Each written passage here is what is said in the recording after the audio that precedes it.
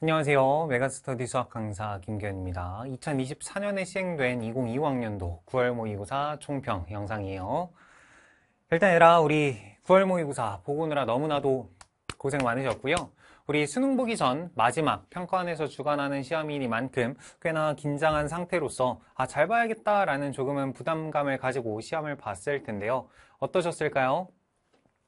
일단 얘라 다른 과목은 잘 모르겠지만 특히 수학과 관련해서는 오늘 좀 이런저런 이야기를 같이 한번 해보도록 할 건데 일단 9월 모의고사 우리가 되돌아보는 거 당연하게도 중요하다. 그리고 앞으로 남은 기간 동안 어떤 식으로 공부해 나가야 될지에 대한 피드백을 세우는 것도 중요해. 그렇지만 9월 모의고사 결과로서 우리 대학 가는 거 아니라는 거 꼭 명심해 두셔야겠죠. 그러니까 남은 기간 동안 계속 빡세게 공부하셔서 우리는 수능장에서 최고점 찍을 수 있게 너희들이 원하는 점수 받을 수 있게 끝까지 파이팅 하자는 거. 알았지? 그럼 일단 첫 번째, 우리 9월 모의고사 특징에 대해서 먼저 말씀을 드리도록 할 건데, 객관적인 난이도.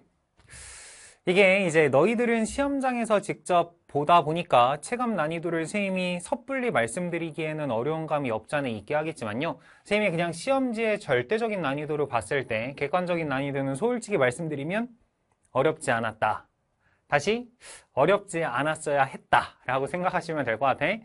절대적으로도 어려운 문제가 없었고요. 그리고 너희들이 느끼기에도 어 나름 할만한데? 중간에 막히는 부분이 없는데? 어 내가 이 부분에서 종종 막혀야 되는데 안 막히네? 라는 부분들이 종종 있었어야 합니다. 그래서 선생님이 조금 이제 이야기하기가 이제 각자 상황에 따라서 선생님 저는 잘 봤어요. 저는 조금은 원하는 성적이 안 나왔어요. 라고 생각하는 친구들도 있겠지만요. 그렇다 해도 선생님이 일단은 시험지에 대한 절대적인 난이도를 말씀드리는 것은 필요할 것 같아서 할 만한 시험지였다. 다시 어렵지 않은 시험지였다는 거. 그런데 단순히 그냥 어렵지 않았다라고만 이야기하면 너희들이 느끼기에 조금 이제 어 저게 어느 정도지? 라고 생각이 들 수도 있어요. 그래서 작년 9월 모의고사 대비 작년 9월 모의고사 시험은요. 진짜로 전국에 있는 모든 사람들이 야 시험이 어떤 식으로 나올까라고 이제 정말로 주목했던 시험지 중 하나야.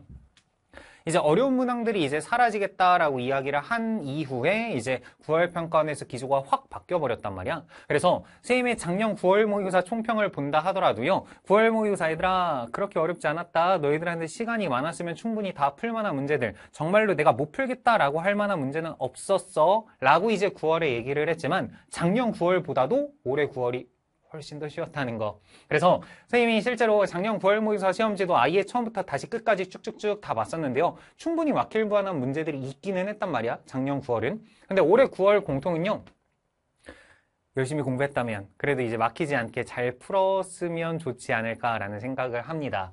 그래서 낯선 소재 없었고요. 뭔가 내가 무조건 이 개념만 알아야 내가 이걸 풀 수 있어 라는 것도 그렇게 많지 않았습니다. 그래서 낯선 소재 없었고 내가 특수한 개념도 없었다. 작년 구평 대비 어렵지 않았다.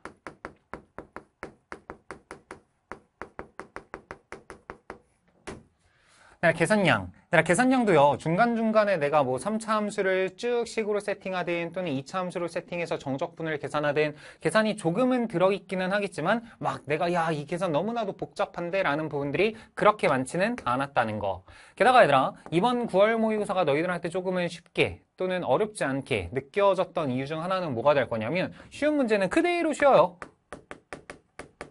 그러니까 그동안 우리한테 느껴졌던 뭐 3점짜리에 해당하는 문제를 당연히 쉽고요.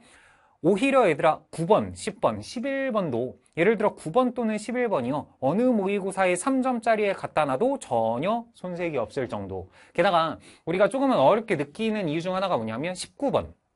또는 선택 과목에서 27번 3점의 탈을 쓴 사전 문항들이 나의 발목을 잡는 경우가 꽤나 많았지만 이번 시험은 그런 게 단 한 개도 없었다는 거. 그렇기 때문에 쉬운 문제는 쉽고요. 어려운 문제는 쉬워요.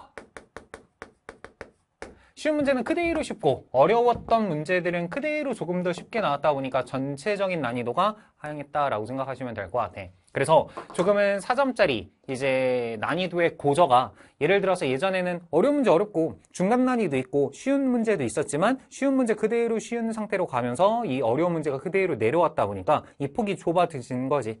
그러다 보니까 우리가 그래도 조금은 할 만한 시험지가 아니었을까라고 생각을 한다는 거. 그런데 두 번째 아까 말씀드렸듯이 얘들아 체감 난이도는 사람에 따라 달라요. 국어가 뭐 쉽게 느껴졌든 어렵게 느껴졌든 각자 상황에 따라서 야 내가 국어를 잘 봤다. 자신감을 챙기고 본 친구들은 그 기세를 그대로 이어나가서 잘 본 친구들도 있을 거고요 수학을. 또는 국어에서 내가 말렸어. 또는 수학에서 앞부분에서 생각지도 못한 부분에서 막혀서 내가 조금은 어렵게 느낀 친구들도 당연히 있을 거야.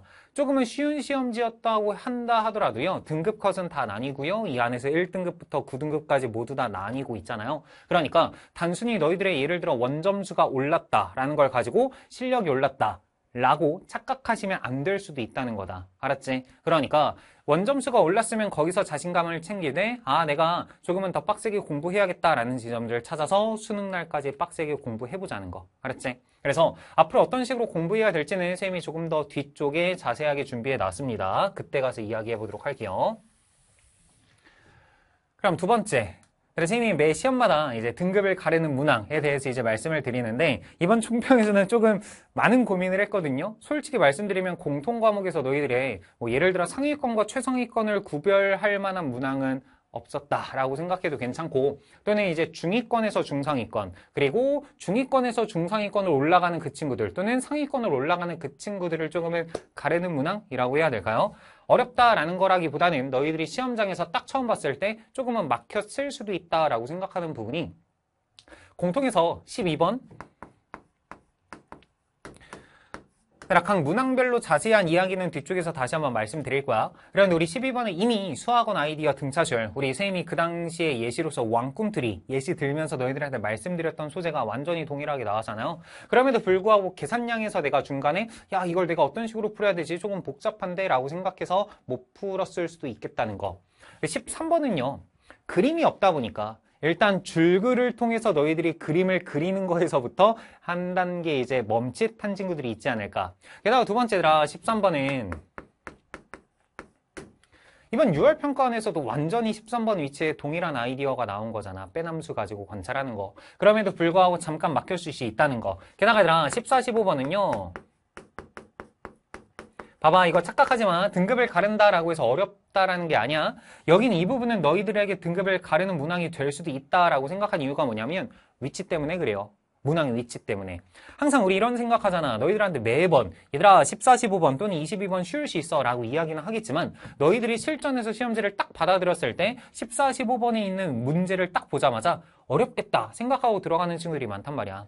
그렇기 때문에 그냥 상위권 그리고 실력이 있는 친구들은 야 그래도 풀만하네 어렵지 않네 열심히 잘 풀어내지만 중위권 친구들 자기 자신에 대한 실력에 자신감이 없지. 그러다 보니까 야 이거 어려울 것 같은데 내가 조금은 짧은 문항이라 하더라도 못 풀 것 같아 라는 생각으로 넘기는 친구들이 많단 말이야. 그럼에도 불구하고 봐봐. 너무나도 쉬운 문제인 거 아니야. 그치? 그러니까 이런 부분에서 너희들이 그냥 넘겼다. 또는 스스로 문제를 조금 꼬아서 생각했다라는 친구들은 조금은 등급이 가르는 문항이 되지 않았을까 생각합니다. 그래 단답형으로 가면 얘들아 21번 이건 그냥 너희들이 조금 생소하게 느낄 수 있게 하겠지만요. 분응식 주어졌으니까 어 모든 정수 K에 대해서 성립하는 분응식이다. 그럼 K 자리에 누구를 대입할까? 아 그럼 이놈과 이놈이 같게 하는 순간을 딱 대입한 다음에 계산으로 끌고 가시면 되겠다라고 생각하시면 되는 거. 22번은 너무나도 전형적인 문항이긴 했죠. 우리한테 슈알의 기납적정이 나와가지고 역방향, 순방향 관찰하면서 문제를 쭉 풀어내시면 되겠다는 거. 다시 말씀드리면 얘들아 이 문항들은 실력이 그래도 내가 조금은 충분히 공부가 됐다라는 친구들은요 막힘없이 풀어낼 수 있는 난이도였지만 일단 문항 위치 위치를 보고 쫄고 들어갔거나 일단 문장 길이 또는 내가 조금은 생소해 보인다라고 생각해서 못 푼 친구들이 있을 수도 있겠다라는 거 교훈은 딱 하나야 얘들아 실제 시험지는 얘들아 어떤 식으로 어떤 난이도가 이 문제가 나에게 쉽게 느껴질지 어렵게 느껴질지는 아무도 모르잖아요. 그러니까 충분히 풀 수 있겠다라는 자신감을 챙기고 이 문제에 접근하고 도전해 보시는 거야. 도전을 했는데 안 된다 싶으면 넘어가는 게 필요하지만 풀기도 전에 쫄고 들어가지는 말자는 거. 알았지? 그래서 얘들아 현재까지 학업 상황 평가를 지표로서 이 9월 평가원 시험 성적을 이제 너희들이 조금 반영해서 피드백을 하셔야 되는데 가끔 이런 친구들이 있어요. 이번 9월 시험이 조금은 쉬웠다 보니까 야 쉬운 시험지 쓰레기야. 나 이거 나 내가 얻 을 만한 부분이 없어. 그냥 덮어두고 일단 실력을 더 쌓을 수 있게 다른 시험지로 공부해야겠다라고 생각하는 친구들이 있을 수도 있겠지만요. 일단 얘들아 너희들의 시험지의 시험 성적이 어떻다 한들 일단 평가원에서 나온 시험이잖아요. 이 시험지에서 최대한 얻어갈 수 있는 점들은 다 얻어가시고 일단 얘들아 항상 머릿속으로 생각하셔야 되는 거 9월 모의고사 난이도와 수능 난이도는 절대로 같지 않습니다. 우리 얘들아, 우리 현역 친구들은 아직 생각이 별로 없을 수도 있긴 하겠지만 우리 연수생 친구들 작년 생각하시면 돼. 얘들아, 작년 9월 평가는 그래도 할만하다라고 이야기가 나왔지만요. 실제 수능 시험지 까보니까 어때요? 꽤나 어려웠단 말이야. 이게 실제 시험장에서 너희들이 봤을 때 시- 작년 수능을 다시 본다라고 생각했을 때 쉽지 않게 느껴진다고. 그러니까 이번 9월 모의고사가 쉬웠다라고 생각해서 이번 수능도 쉬울 거야 라고 생각해서 쉽게만 공부하시면 수능장에서 또다시 힘들어질 수 있다는 거. 알았지? 그러니까 9월 모의고사는 너희들이 어떤 식으로 어떻게 느꼈다 한들 일단 수능날까지는 빡세게 공부하셔야 된다라는 거다. 알았지? 그러니까 이번 쉬운 시험지라고 한다 하더라도 최대한 우리가 얻어갈 수 있는 점들 다 얻어가지고 수능날까지 빡세게 공부하자는 거. 알았죠?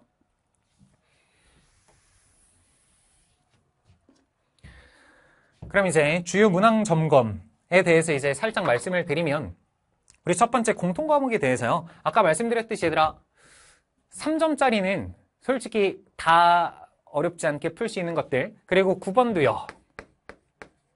3점으로 내도 손색이 없는 문제 11번도요. 3점으로 내도 손색이 없는 문제 절대로 틀리시면 안 되겠다는 거 그러니까 10번이요. 이게 항상 너희들한테 삼각함수 활용이 나오면 이게 쉬운 난이도든 어려, 어려운 난이도든 어렵게 느끼는 친구들이 있는데 너무 쉽게 등장한 거 아니야. 둔각삼각형 줬고 수선의 발 내리라고 했으니까 일단 직각삼각형 보이네. 그리고 길이들 줬으니까 아, 이놈을 통해서 필요하다면 세타라는 어떤 각에 대해서 사인값 다 구해낼 수 있겠다라는 거고요. 두 번째 거기서 외접원에 대한 정보까지 주어졌으니까 다 주는 거 아니야. 사인 법칙 사용해야지. 그래서 여기서 4인 세타 하나 구하고 여기서 4인 세타 하나 구해서 여기서 여기서 구한 값을 이용해서 K값 어렵지 않게 구하시면 되겠다는 거. 알았지? 그래서 바로 풀어낼 수 있, 는 부분이 되셨어야 하고요. 아까 말씀드렸듯이 12번. 12번은 우리 아이디어에서 등차 수열 2번 문제. 여기서 이제 선생님이 그 당시 왕꿈틀이 예시를 들어드리면서 얘들아 그 당시 사관학교 문제에서 너희들한테 SN과 TN을 이렇게 정의했는데 여기는 왜 짝수 번째항까지 합을 주고 여기는 왜 홀수 번째항까지 합을 줬을까? 둘의 차이가 무엇일까? 라는 것들을 여기서 다 말씀드린 거다. 알았지? 그래서 몰랐다 하더라도 일일이 대입하면서 아, 이 정도 계산은 어렵지 않네 라고 느끼는 것도 중요하지만 이미 배웠던 것들을 최대한 활용하는 것도 필요하다는 거. 알았죠? 13번은요.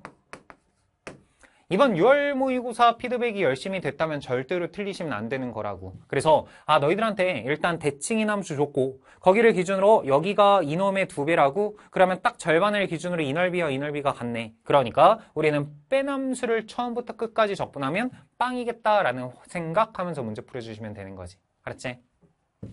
그래 14번도요. 그래 14번도 하나하나 하나 뜯어보면 이미 우리가 아이디어에서 다 비운 거 아니야. 첫 번째 얘들아 지수함수 하나 주어지고 너희들한테 직선 하나 주어질게. 직선의 기울기를 관, 관찰하기에 가장 예쁜 도형은 직각삼각형이다. 그래 직각삼각형이다 라는 것만 떠올리고 그 다음 계산을 또 못하시면 안 되잖아. 아 이놈을 기준으로 해서 1대3의 비율 관계 알아냈고 1대3 대 루트 10 되는데 이 길이를 줬으니까 실제로 이 길이와 이 길이 다 구할 수 있겠네. 거기에 두 번째 얘들아 곡선 위의 섬이야 곡선 위의 섬이야. 곡선 위의 섬이니까 필요하다면 대입하면 성립한다. 생각해 주시면 되고요. 거기 세 번째 얘들아 지수함수와 로그함수. 하나 주어지고 거기에 y는 x 위의 중심인 원. 이 그림 또한 수학원 아이디어에 그대로 박혀있는 그림이 될 거다. 대칭성을 공유하는 대, 대칭성을 공유하는 두 함수의 교점들 또한 대칭성은 유지된다. 그래서 얘들아 이놈과 이놈 y는 x의 대칭이고 이놈과 이놈 y는 x의 대칭이야 라는 것들 어렵지 않게 판단할 수 있으셔야 된다는 거. 알았지? 아까 말씀드렸듯이 얘들아 이게 14번에 위치 있다 보니까 어렵겠지라고 생각하고 들어가는 친구들이 있겠지만 충분히 풀만한 문제다라는 걸 느껴주시면 돼. 알았지? 15번은요. 해설 강의에서도 말씀을 드리기는 했지만 정적분으로 정의된 함수가 나왔으니까 윗끝 아래끝 같도록 대입을 해보는 것도 필요에 따라서 할 수도 있긴 하겠지만 실제 지금 문제에서는 그 부분이 필요 없는 과정이기는 했어요. 그래서 양변을 미분했고 미분해서 나 조건에서 주어진 식을 쭉 대입하는 순간 아 좌변 자체가 고배 미분법의 역연산이구나. 실제로 얘들아 우리 평가원 22번 문제에서도 너희들한테 고배 미분편의 역연산 주어진 적이 있잖아요. 그리고 실제로 여기는 15번에서 좌변에 주어진 식 또한 기출생각집에서 교육청 문제로 한번 연습을 했던 소재다 보니까 아 보자마자 아, 양변을 적분하시면 x, gx가 나오겠다라는 판단 해낼 수 있으셔야 된다는 거. 알았지? 그래서 충분히 풀만한 문제로서 구성이 됐다라고 생각하시면 될 것 같고요. 주관식으로 넘어가면 20번은 일단은 첫 번째 fx 그래프 그리는 거. 어렵지 않게 당연히 그릴 수 있어야지. 그래서 0부터 파이까지 그리고 파이부터 2파이까지 일단 그림 그린 다음에 두 번째 fx라는 함수와 ft라는 함수 사이의 관계식. 그래서 y는 fx 그리고 y는 ft다라는 건 모노레일이 이렇게 움직이는 이 상황 관찰하시면 되겠다는 거. 실제로 이너멜 관찰하는 것 또한 우리 수트 아이디어에서도 연습을 했던 소재다 보니까 필요에 따라서 공부해 주시면 될 것 같아요 21번 아까 말씀드렸듯이 부등식 주어졌는데 모든 정수에 대해서 성립하는 부등식. 그러면 야 여기도 K에 관한 식이고 여기도 K에 관한 식인데 어떤 정수를 대입해야 내가 의미 있는 결과를 만들어낼 수 있을까? 그러면 두 놈이 같도록 하는 값을 찾아보겠다라는 식으로 문제를 쭉 끌고 가시면 되는 거. 그리고 그 이후의 계산 또한 얘들아 직접 fx를 구해도 되고요 또는 얘들아 우리한테 원함수의 차 형태가 주어졌잖아. 원함수의 차 형태가 주어졌으니까 필요에 따라서 우리는 도함수의 정적분 관점에서 계산을 끌고 가셔도 된다라고 챙기시면 되겠다는 거. 알았지? 훨씬 더 자세한 얘기인 쌤이 해설 강의에서 말씀드리니까 필요한 친구들 들으시면 될 것 같고요. 그래 22번도 이번 6월 평가원에서 나왔던 것처럼 22번이 이제 수열의 귀납적 정의가 나오기는 했지만 그렇다고 해서 실제 수능에서도 또 나올까 안 나올까는 그 누구도 몰라요. 일단 우리는 모든 상황에 대비해서 다 공부하셔야 되는 게 맞기는 해. 그렇지만 22번 나왔을 때 얘들아 나한테 n 더하기 1번장, n번장 사이 관계가 더하거나 곱하거나 그런데 첫째 항 양수라고 줬고요. 두 번째 항, 세 번째 항 곱이 음수다라고 했으니까 부호가 서로 반대잖아. 그런데 이미 A호가 얼마인 거 알아? 빵인 거 알고 있는 거 아니야? A호가 빵이면 네 번째 항으로 가능한 게 빵 또는 3분의 2키 둘 중에 하나가 되도록 할 거고 그놈을 기준으로 역방향을 밀어주는 순간 부호가 결정되어 있다 보니까 훨씬 더 깔끔하게 풀린다는 거 알았지? 그래서 우리는 A호 결정되어 있으니까 우리는 역방향으로서 계산을 깔끔하게 해주시면 되겠다라는 거고요.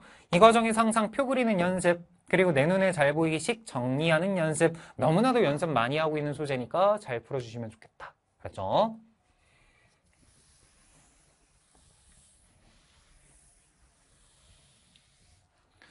그리고 이제 선택 과목으로 가시면 첫 번째 우리 확률과 통계는요. 일단 28, 28번은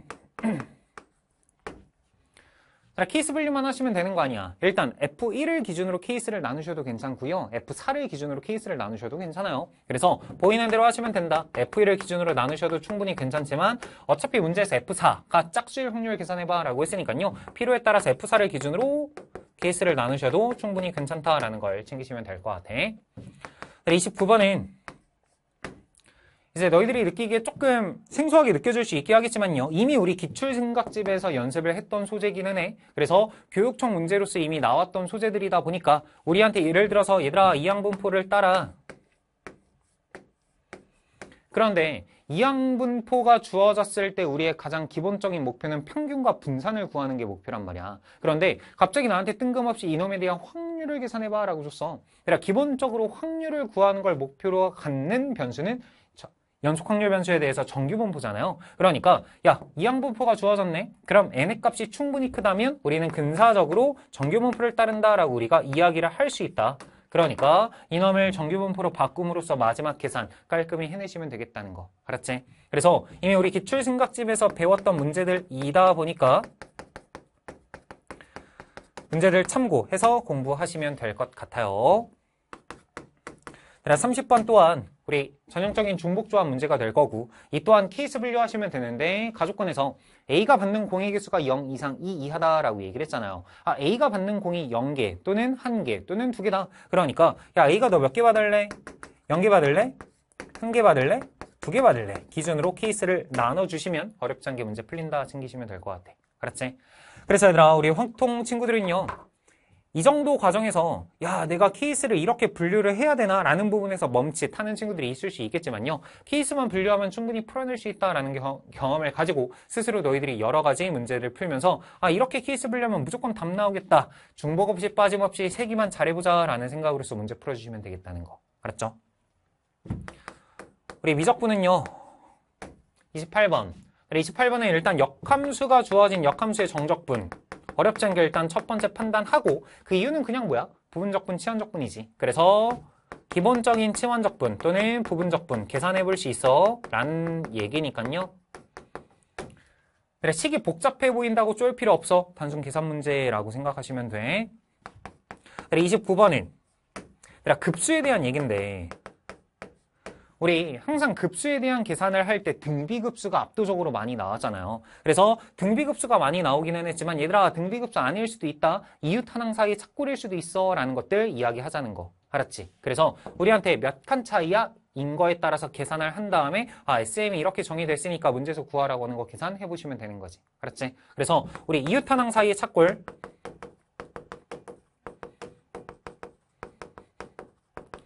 관찰하는 연습 해 보시면 될 것 같아요. 그래 30번이 이제 가장 어려웠을 수 있는데 이건 이제 어렵게 느낄 수 있는 문제가 맞습니다. 그래서 일단은 문제에서 주어진 상황에 대해서 일단 다항함수와 지수함수 형태가 주어졌으니까 너희들한테 주어진 이 함수를 적절히 적분도 잘해볼 수 있어야 되고 미분도 잘해볼 수 있어야 돼. 그리고 모든 실수 x에 대해서 large fx와 small fx 사이의 관계식이 주어졌잖아요. 그럼 그놈을 가지고 아 이게 항상 성립하는 부등식이네. 그러니까 우리는 large fx 마이너스 large f prime x가 0 이상이다. 그러니까 우리는 이 함수 자체를 관찰해야겠다라고 생각하시면 될것 같고요. 이 과정에서 한 가지 꼭 챙기셔야 되는 부분 중 하나가 뭐냐면 마지막 구하라고 하는 값의 형태가 너희들한테 뭐 g 4분의 1 그리고 g 2분의 3 얘들아 두는 뭐 하시래? 더해봐 라고 얘기했지. 항상 그런 거는 아니지만 이미 우리 미적분 기출문제에서 연습을 했던 소재 중 하나야. 너희들한테 두 가지 이상의 값을 계산해봐 라고 주잖아. 그렇다면 우리가 먼저 의심할 부분 중 하나가 뭐냐면 아 뭔가 범위에 따라서 이 함수와 이 함수의 종류가 달라질 수 있겠다라는 생각을 갖고 들어가셔야 돼. 다시야. 단순히 너희들한테 계산을 두 번 이상 시키는 경우가 있을 수도 있겠지만 일단은 왜 굳이 나한테 두 가지 값을 더하라고 했을까? 만약에 그냥 gx라는 함수가 하나의 함수로 결정이 된다면 그냥 이것만 물어봐도 충분하겠지만 두 가지 값을 물어봤다라는 건 아 뭔가 변화가 생기는 경계가 있나? 그럼 그 변화가 생기는 경계가 얼마일까? 라는 걸 기준으로 케이스를 나눠야겠다라는 거. 알았지? 분필을 먹어서 목이 메고 있어요. 열심히 잘합시다. 알았죠? 그래서 미적분 이 부분 어려울 수 있으니까요. 필요에 따라 우리는 꼭 해설 강의 들으면서 공부해 주시면 좋을 것 같아. 알았죠? 자, 기하로 넘어가시면 28번은 항상 너희들이 뭔가 공간 도형, 공간 좌표 나오면 항상 쫄고 들어가는 경향이 없지 않아 있지만 일단 구 하나 주어졌고요. 점P와 점Q가 나타내는 도형 원이다라는 것만 잘 찾아낼 수 있다면 아 N1, N2가 주어졌으니까 이놈의 좌표를 표현하고 구 위의 점이다라는 걸 통해서 계산만 깔끔히 하시면 되겠다는 거. 29번은요.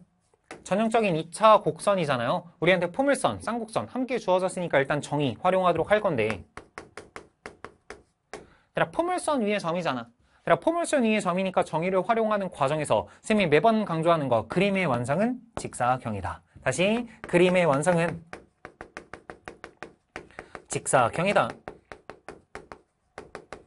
직사각형 잘 잡은 다음에 걔 가지고 내가 어떤 계산을 할 수 있을까라는 걸 잘 챙겨준다면 어렵지 않게 풀 수 있었다는 거. 알았죠? 마지막 30번은요. 평면 벡터에 대한 연산이잖아. 그래서 문제에서 주어진 벡터의 덧셈 어떻게 판단할 수 있을까? 필요에 따라서 뺄셈 이놈에 대한 의미 파악을 어떻게 할 수 있을까라는 걸 쌤이 해설 강의에서 여러 가지 다 보여드리니까 잘 공부하시면 되겠다는 거. 그래서 각각의 4점짜리 문항에 대해서 선택 과목은요. 충분히 확률과 통계는 조금은 할만할 수 있었었으면 좋기야 하겠지만요. 여기는 이 부분에서 너희들이 뭔가 케이스를 분류하는 데 있어서 벽을 딱 맞았거나 또 29번에서 생소하게 느꼈다면 다 틀렸을 수도 있겠지만 충분히 풀만한 난이도였다는 거. 미적분은 30번 제외하고는 그래도 풀 수 있었으면 좋겠고요. 기하도 충분히 풀만한 난이도였다 생각하시면 될 것 같아요. 그럼 얘들아 쌤의 커리큘럼을 열심히 따라온 친구들 쌤의 커리큘럼을 열심히 따라온 친구들이 이번 9월 평가 어디까지 따라하시면 이 정도 번호대까지는 다 맞췄을까라는 것들에 대한 이야기를 간략하게 먼저 말씀드리면요. 첫 번째, 솔직히 얘들아 더블 커넥션까지도 갈 필요도 없고요. 커넥션에서의 어려운 문제 난이도까지도 나오지는 않았단 말이죠. 그러다 보니까 커넥션까지 일단 열심히 잘 해냈다면 공통 과목, 선택 과목 충분히 어렵지 않게 그래도 풀 수 있었으면 좋을 것 같아. 그치만 이제 이 부분에서 내가 조금은 귀 기울여 듣고자 하는 친구들이 생각보다 점수가 안 나온 친구들이잖아요. 생각보다 점수가 안 나와서 선생님 제가 선생님 커리큘럼 열심히 따라갔는데 왜 저는 앞에서부터 안 풀리죠? 라는 친구들이 있을 수도 있단 말이에요. 일단 첫 번째 솔직히 말씀드리면 여기는 파운데이션 킥오프 솔직히 킥오프 워크북까지 했으면 3점짜리 절대로 틀리시면 안 되고 아까 말씀드렸듯이 9번과 11번까지도 무조건 맞아야 된다. 그러니까 4점짜리에 해당하는 문제들 여기는 9번, 11번까지 다 맞출 수 있고 2, 3점짜리까지도 다 맞을 수 있다는 거. 게다가 두 번째, 아까 쌤이 여러 가지 이야기했잖아. 아이디어에서 얘들아 이 아이디어에서 했던 거니까 꼭 다시 한번 공부하자라는 것들 4점짜리에서 다 나왔다는 거. 그렇기 때문에 아이디어 워크북 그리고 여기 있는 4점 기출생각집까지만 했다 하더라도 4점짜리에서 선생님이 아까 이야기했던 등급을 가르는 문항 정도를 제외하고는 그래도 당연히 다 풀 수 있으셔야 된다는 거. 알았지? 그리고 여기는 싱글 커넥션, 커넥션까지 했다면 당연하게도 막힘없이 풀어낼 수 있었으면 좋겠다는 거. 알았지? 그치만 문제가 뭐라고? 지금 저는 했는데 막혔어요. 이런 친구들이 문제잖아요. 그래서 그런 친구들에 대해서 이제 앞으로 어떤 식으로 방향을 잡을지에 대해서 자세하게 한번 이야기해 보도록 합시다. 앞으로의 공부 방향. 그래, 첫 번째. 잘했다면. 그래, 이번 9월 모의고사 잘 본 친구들 많이 있는 것 같아요. 그래서 잘했다면 지금까지 하던 대로 하시면 된다. 첫 번째, 선생님이 항상 강조하는 것 중 하나가 뭐냐면 내가 잘했다면요. 그걸 자신감으로 챙겨가시면 돼. 그런데 항상 경계하셔야 되는 거. 아까 선생님이 초반부에 말씀드렸듯이 얘들아 9월 모의고사 성적으로 대학 가는 거 절대로 아니야. 9월 모의고사 잘 봐놓고 수능에서 원하는 성적 못 받으면 말짱 꽝이라고요. 우리는 수능에서 너희들이 원하는 성적 받는 게 너무나도 중요해. 그렇기 때문에 수능 날까지 자만감으로 번전하지 않, 않도록 야 내가 하면 충분히 된다라는 걸 생각하면서 끝까지 열심히 공부하셔야 된다. 그래서 자신감을 챙기되 이게 자만심으로는 번져가지 않도록 주의를 해주시면 좋을 것 같아요. 그래서 매번 강조하지만 얘들아 겸손하게 공부하자. 이런 친구들한테 쌤이 항상 강조하는 것 중 하나가 뭐냐면 9월 평가는 딱 보자마자 100점 또는 96점 원하는 성적을 딱 받자마자요. 꽤나 많은 친구들이 됐다! 라고 생각하는 친구들이 있거든. 그래, 되긴 뭐가 돼. 아직 우리는 수능까지 너무나도 많은 시간이 남아있는데, 내가 됐다! 라고 생각하지 마시고요. 이번 시험 성적을 통해서 야 내가 그동안 열심히 공부한 게 결과로 나왔다. 그러면 남은 기간 빡세게 내가 정말로 첨예하게 내 신경의 끝을 날카롭게 만들어서 수능장에서 진짜로 최고의 성적을 받아보자 라는 생각으로 갖고 가시면 돼요. 알았지? 그래서 커넥션, 컬렉션 적극적으로 활용하면서 꾸준하게 계속 공부해 나가셔야 돼.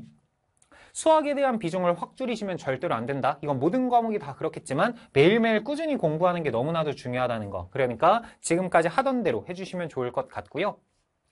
두 번째, 쌤 제가 생각보다 원하는 점수가 잘 안 나왔어요 라는 친구들이 있어요 그러다 보니까 쌤 제가 남은 시간이 얼마 없는데 이 앞쪽 부분 이러한 이 부분을 내가 건너뛰고 이 부분 먼저 해도 될까요? 라는 질문들 너무나도 많거든요 써놨듯이 얘들아 급할수록 한 걸음씩 확실하게 나가는 게 너무나도 중요해. 그러니까 중간중간에 내가 빈 부분을 그냥 건너뛰게 되면 실제 시험에서 그 빈 부분을 너희들한테 물어보는 순간 내가 또다시 틀려버리는 거잖아. 그러니까 내가 예를 들어서 아이디어 열심히 공부했다. 그러면 아이디어 얘들아 처음부터 끝까지 강의를 다 들을 시간은 당연히 없잖아요. 그러니까 선생님이 아이디어 줄글로 필요한 얘기들 다 넣어놨잖아. 그리고 문제를 풀면서 필요한 얘기들 선생님이 칠판으로 다 판서해 드리는 것들이 그 아래 풀이로 적어둔 것들이 있다면 그 줄글로 되어 있는 것들 쭉 읽어가면서 야 김기현이 이 문제에서 어떤 생각하지? 이런 조건 나왔으니까 이렇게 풀어내네 라는 것들을 다시 한번 쭉 상기시키자는 거야. 알았지? 그리고 두 번째, 그걸 통해서 내가 연습 문제 제대로 풀 수 있을까? 복습용 연습 문제 다시 한번 푸시고요.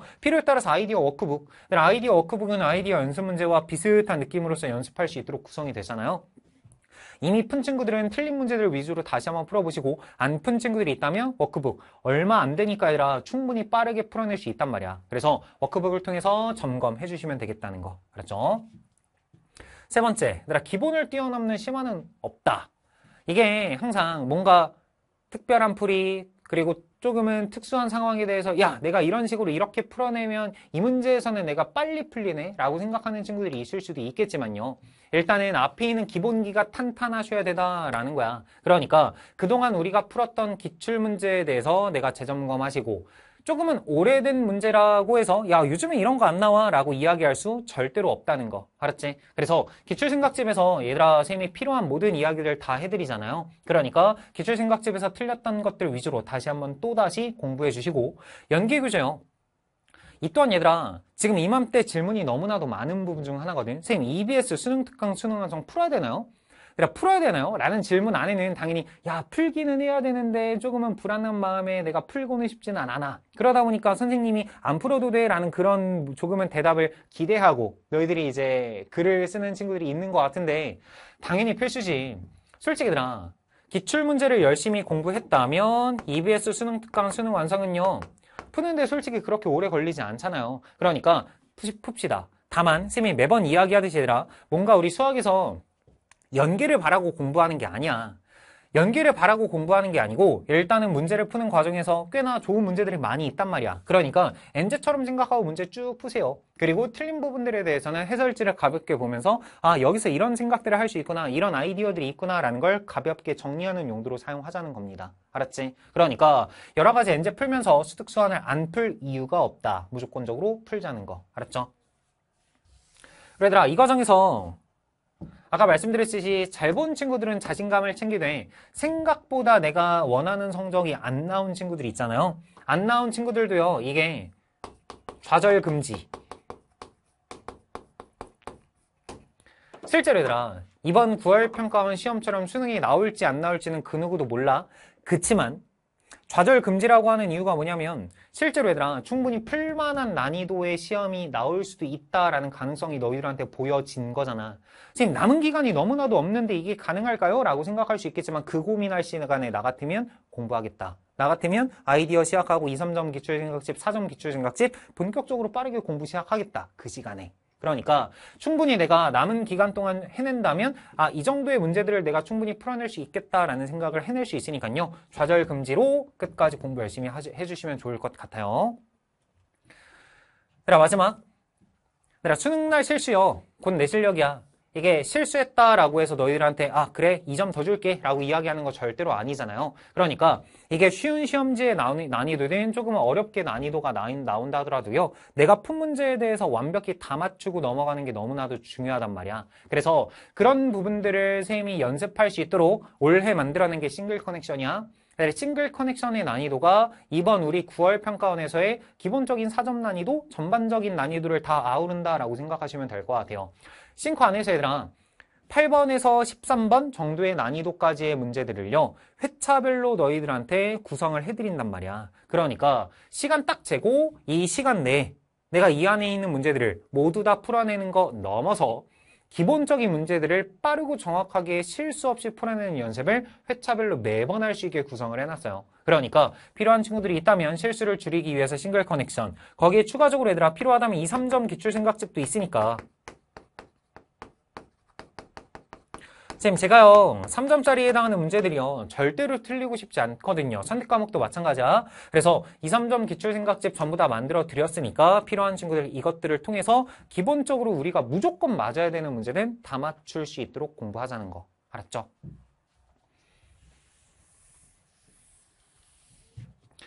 그럼 이제 우리 9월 평가원 이후에 김기영 커리큘럼 에 대해서 간략하게 말씀을 드리면요 첫 번째 쌤의 김기현 컬렉션 모의고사가요. 시즌 1은 이미 개강하고 완강까지 했습니다. 그럼 우리 시즌 2와 시즌 3는 9월 중순 그리고 10월 중순에 출시하도록 할 거고요.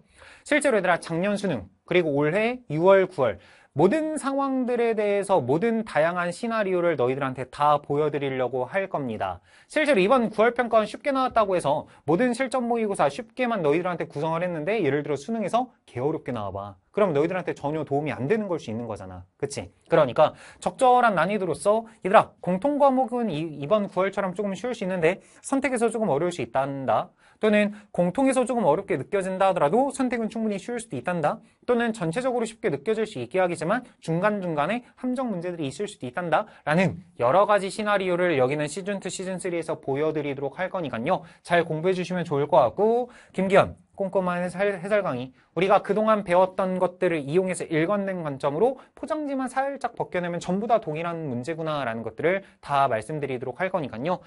열심히 만든 문제이니만큼 여러 가지 해설 강의 같이 통해서 잘 공부해 주시면 좋을 것 같아요. 그리고 두 번째 얘들아 올해 선생님이 좀 새롭게 만들고자 했던 커리큘럼 중 하나 이제 final direction이라는 부분 중 하나가 되는데요. final direction 말 그대로 이제 우리가 정말로 수능 전에 최종으로 조금은 점검하고자 하는 방향성을 너희들한테 제시해드리는 기출 총정리 강의다라고 생각하시면 될 것 같습니다. 그래서 최신 기출 모음 파이널 커리큘럼이라고 생각하시면 될 것 같고요.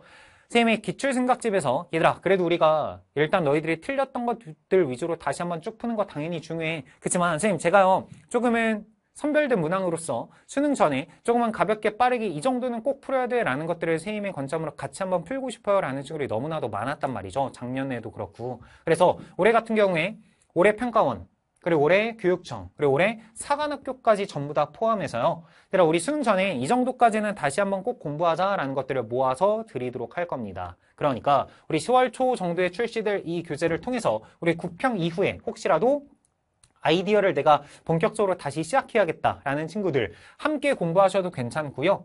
또는 선생님 제가 기출을 조금은 최종으로 다시 한번 점검하고 싶어요. 또는 그동안 기출 공부를 하긴 했는데 최근에 공부한 적이 없다 보니까 다시 공부를 좀 마무리하고 싶습니다. 라는 여러 가지 친구들이 있을 수 있죠. 또는요, 쌤 제가 최저 등급을 위해서 이 정도로 공부해야 되는데 기출 생각집만 하기에는 조금 양이 방대해서 조금은 선별적으로 이 정도만 공부하고 싶어요 라는 친구들 모두에게 도움이 될 수 있도록 쌤이 구성하고 있으니까요. 10월 초에 같이 한번 final direction 강의와 교재를 통해서 또 다시 만나시면 될 것 같습니다. 알았죠?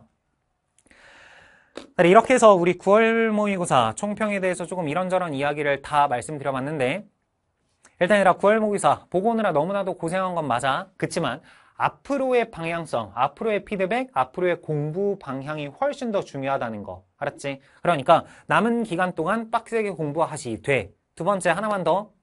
그래, 지금 이 과정에서 이걸 해야 되나? 저걸 해야 되나? 라는 것들 가지고 계속 고민만 하는데 또다시 시간을 쏟으시면 절대로 안 된다. 선생님, 제가 이렇게 이렇게 해야 될까요? 라는 질문들 우리 학습 게시판에 많이 들어오잖아요.